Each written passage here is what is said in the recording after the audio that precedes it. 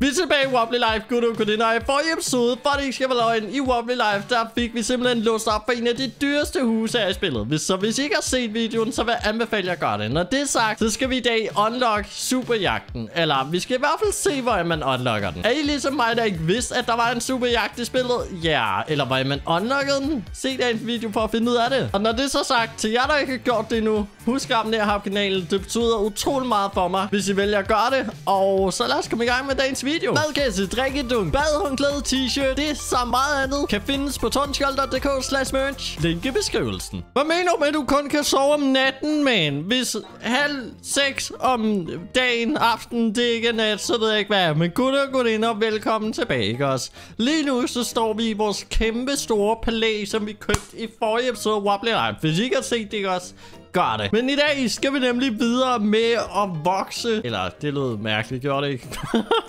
vi skal gøre, så vores imperium af rige ting bliver større. Og hvordan man gør det i... Jo, vi har jo lidt heromme bagved. I vores gigantiske palæ. Var det ikke den her vej, hvor man kom derom til det mene? Åh oh, nej, han har fået vild med en. Det er det toilettet, der palæ os.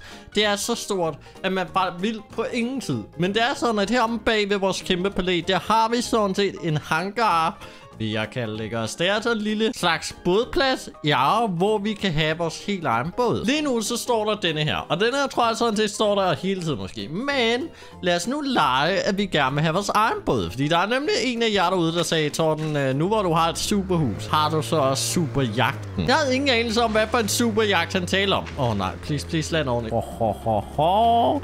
Så derfor så gik jeg ind på nettet og tjekkede, hvad er det egentlig for en superjagt, der er i Wobbly Life. Og øh, gutter og I skal virkelig glæde jer. Fordi den er superjagt, man kan få i Warp Life. Den er mega fed, man. Den er faktisk så super fed, at i dag skal vi se, om vi kan nå noget af vejen til at få den. Fordi den tager rimelig lang tid at få. Og det man starter ud med at gøre...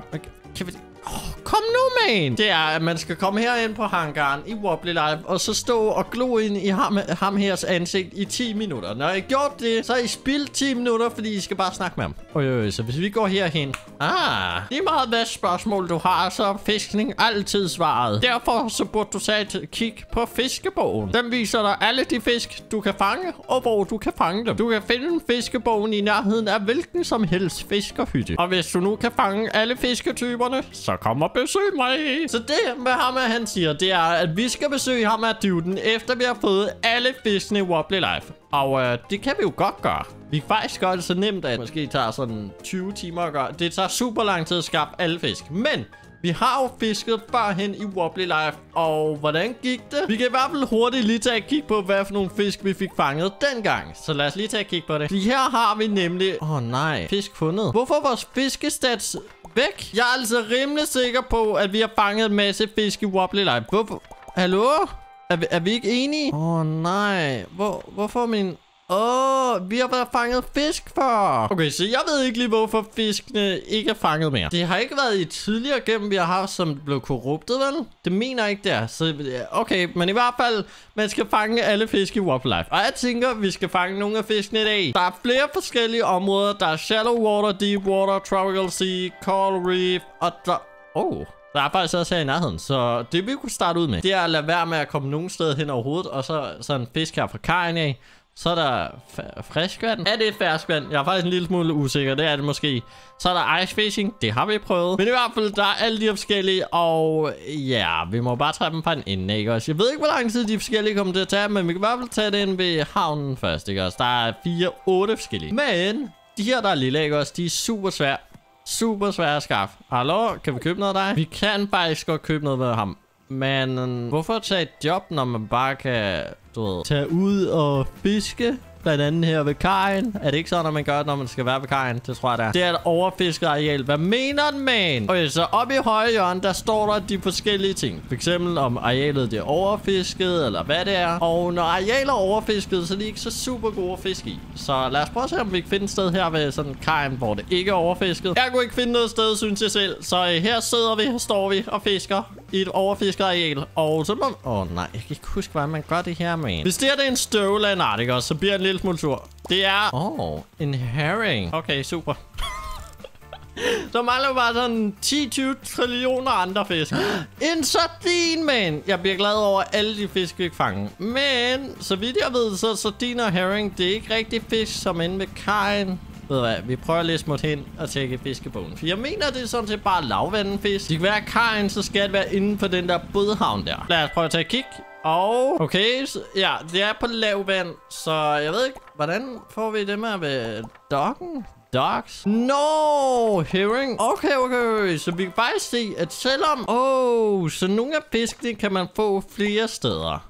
Det, det, er godt, det er godt at vide, fordi det betyder, at f.eks. herring, den kan man få tre steder, f.eks. på dybvand, lavvand og ind med havnene. Men der er nogle, som man decideret kun kan få ind med havnene. Og det er jo dem, vi faktisk er interesseret i. Men lad os lige se. Bait. Kan man tage noget af det? Det her noget? Altså, er, er det noget, man bruger til noget? Det tror jeg ikke, det er vel. Så det her, det må 100% være inde ved havnen. Jeg tror ikke. Det kan godt være, den siger overfisket. Ja, selvfølgelig gør den det, men. Men lad os prøve at se. Så det, vi leder efter, det er super svære fisk at sådan fange. Fordi desto sværere fisken er at fange, desto øh, sjældnere er de, har jeg fundet ud af fra forrige episode. Eller det må så være rimelig mange episoder siden, hvor vi prøvede at fiske i Wobbly Life. Oh, oh, fire gange. Okay, det er det med en, vi ikke har før. 100%. Lad os se, hvad er det? Det er en... det er en sardin. Er du seriøs, man? Nej, et søpindsvin. Så har vi også fået fisket den frem. Hey. I tror ikke, der er fiskesæsoner i Wobbly Life, vel? Og det vil sige, at vi ikke har fanget nogen fisk i den her fiskesæson. Fordi jeg er rimelig sikker på, at jeg fanget fisk. Jeg ved ikke, hvorfor de ikke er sådan slået ind på vores fis fiskedæks. Men det gør mig faktisk en lille smule irriteret. Fordi vi havde fanget sådan rimelig mange fisk fra, jeg tror det var to eller tre områder. Ved jeg, glem det. Vi gider ikke havnen mere. Jeg tænker, det vi skal gøre i stedet for, det er fisk steder, vi ikke har fisket før. Og hvad var det? Jo, vi kunne prøve over i de tropiske ting. Fordi der så ud til at være nogle super awesome fisk. Ligesom man kan se, så har jeg fået en støvle indtil videre. Et søpindesvin, det har ikke rigtig været det mest interessante, vel? Det her, det må nærmest være et tropisk område. Jeg tror ikke. Nu er vi omme på den anden side af den tropiske ø. Men tror, I tror ikke, man skal helt herind, vel? Det kan ikke give mening, fordi der er ikke nogen fiskebåd derinde. Så lad os prøve at fiske her, siger den overfiskede areal. Selvfølgelig gør den det, mand. Selvfølgelig gør den det. Det er fordi, vi er alt for tæt på havnen, okay? Tropical Sea! Jamen, det er lige præcis det, vi er ude efter. Øj, så der skulle være nogle super awesome fisk her. Så lad os prøve at se, om vi er heldige at fange nogle af Åh, oh, den første fisk er på krogen. Jeg håber virkelig, det er en blåspillet sildeval. Eller... det er ingenting. Okay, slap af. Det kunne bare være super awesome. Åh, oh, åh. Oh. Det er en 4, man. Den kan kun være god. Please, den er god. Åh, oh, okay. Vi fik en søagurk. Jamen, det er super. Nej, men hvad? Det var ikke det der inter slags interessante ting, jeg tænkte på, man. Uh, jeg vil ikke have nogen søagurker. Nu man stoppe med at give mig tang, man. Jeg har fået tang to gange streg. Eller, det er søgræs, er det ikke? Oh, okay, lad os bare sige, hvad det er, også. Jeg har fået det der søgræs noget to gange nu. Og det er super irriterende at få. Jeg gider ikke have det. Vi vil have en blåspillet... Hvad var det, jeg sagde? Et eller andet, okay? En blå, blåspillet et eller andet. Det vil vi gerne have. Ikke nogen søgurker. Ikke noget græs, vi kan spise. En decideret fisk kunne være rart. Men så igen, den kan man også spise. en parrotfish. Nej, prøv det. Nej, det bliver vi nødt til at stille her. Prøv at se den, man. Nå, hvor den nuttet. Den ligner, den har fortænder. øh, lad os prøve at fiske flere. Der, der må være flere super så fisk. Kom op til farbase. Det er det. Øh. Det er tang. Ud, ud med tang. Okay, jeg skulle lige til at sige, kan jeg ikke engang finde ud af at kaste tang over bord? Eller det er ikke en tang. Okay, det, det er søgræs, eller hvad man kalder det. Jeg kalder det tang, også? Det er bare, hvad det er. Boop. Så er den der over bord. Jeg vil overveje, hvis der kommer en eller anden bal eller en anden hej hen til vores båd, ikke også? Og så bare væltet båden. Det kunne ikke være sjovt, men prøv at overveje det. Nej, det er den dårlige fisk. Hvis det overhovedet er en fisk. Okay, det er en fisk. Det er en fisk. det er ikke en fisk. Det er en ål. Eller lysvær, kan man... Nej, det bliver jeg nødt til at prøve. Det bliver jeg simpelthen nødt til at prøve. Den er jo den er super levende. Prøv lige at se. Nej, hvor det dumt. Okay, så det er på vej hen til os, det er, at vi skal hen til golfbanen. Fordi den her stive ål, den skal bruges som golfkølle. Og jeg tror faktisk, den hurtigste måde, det er at smide den herind, bum, og så lad os komme derop af. Vil du gerne købe en golfstav? Ah, det tror jeg ikke, men en golf... Åh, oh, hvorfor er der ikke nogen blå nogen, man? Og så vi tager den hvide, den nemmest at se. Bum. Den er lige rød til, men vi har kun 4 dollars tilbage. Åh, oh, gud. Og lad os sætte den på. Ja, tag vores golfkølle. Lige det virker. Kom nu, man! Er vi nødt til at tage med hovedet? Og det er fair nok. Er vi klar? Nej! Hallo, det der skud, det gælder... Det, hallo, det der skud, det gælder ikke, man. Er vi klar? Hallo, det der skud, det gælder heller ikke. Ved hvad? Det er fair nok. Kom nu. Kom nu. Hvad for en skrald golfkugle, man? Eller... Ja, det er selvfølgelig golfkuglen, der er skraldtorden. Det er ikke, fordi du bringer en ål med som golfkugle. Kom nu ned med dig, man. Hallo, det der, det gælder heller ikke. Det der, det gælder heller ikke. Hallo, vi vil bakke.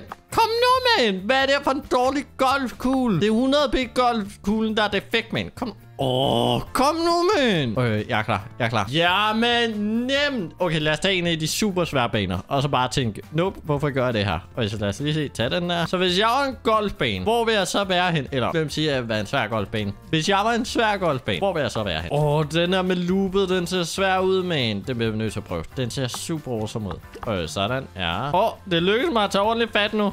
Okay, er vi klar? Er vi klar? Er vi klar? Og, og... Okay, det var et skud. Det var to skud. Kom nu, man! Hallo! Skraldekugle! Det der, det, det der med at trille tilbage også, det gør golfkugler ikke. De, øh, de er firkantede, så de triller ikke. og... Nej, okay, det hjælper ikke. Lad os prøve igen. Og... Kom der, kom der, kom der.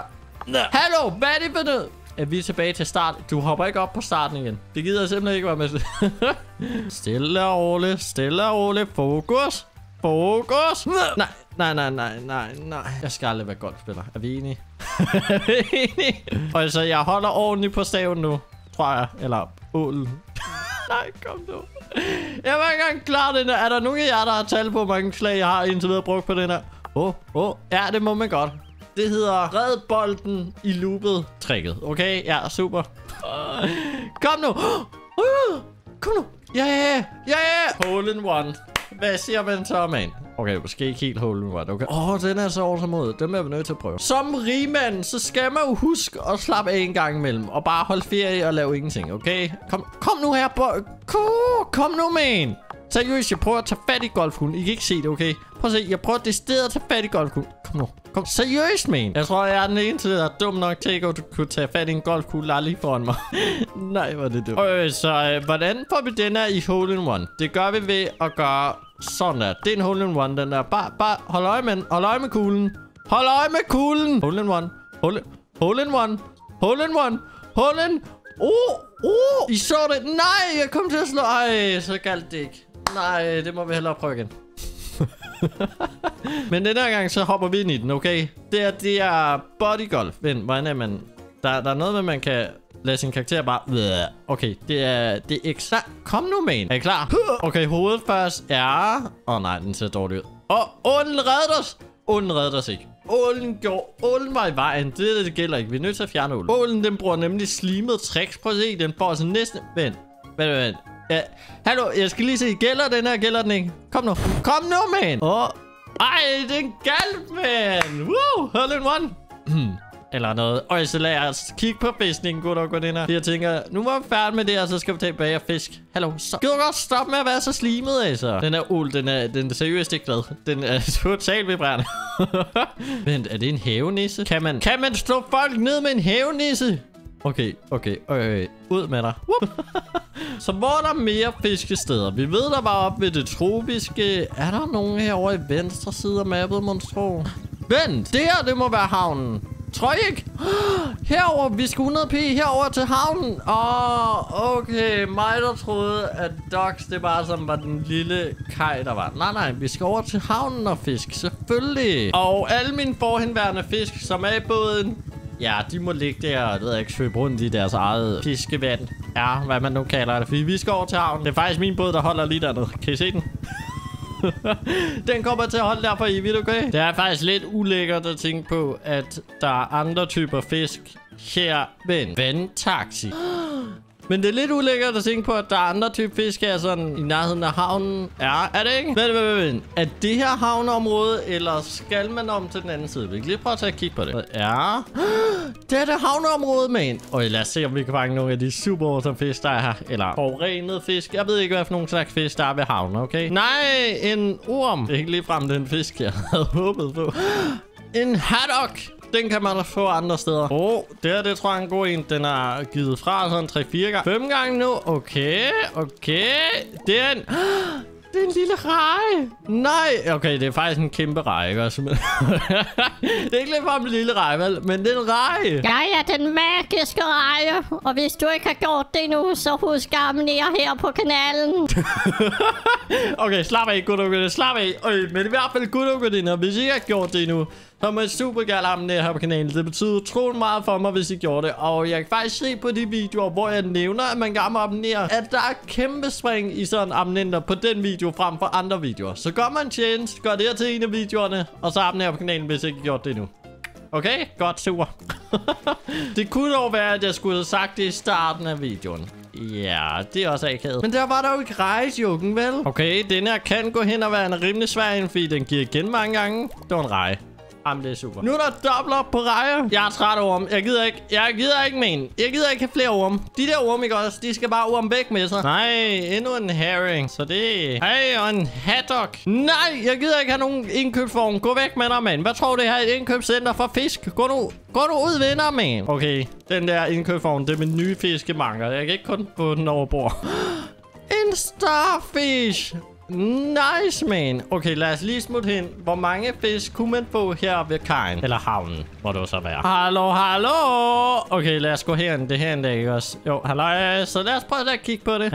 Uh, 8 fisk ud af 47. Jeg er stadig trist over, at fiskene de ikke har gemt på en eller anden mærkelig måde. Her. Der er faktisk ikke så mange, vi mangler. Vi mangler fire her, og her er der heller ikke så... Okay, det er der faktisk. Der er faktisk en del, mangler her, okay. Men Tropical mangler vi kun fire. Det lyder måske ikke meget. Eller det lyder måske meget, men det er det faktisk ikke. Mm. Okay, så 8 fisk samlet, det er ikke 47. Vi skal samle 47 forskellige fisk i alt for på den her superbåd. Men Gutter og gudinder, jeg tænker lidt, at jeg vil holde en pause her. Så ved du lige dagens episode, smid et like, abonner på kanalen, det betyder utrolig meget for mig, og fortæl mig ned i kommentarfeltet, om I har unlocket superjagten.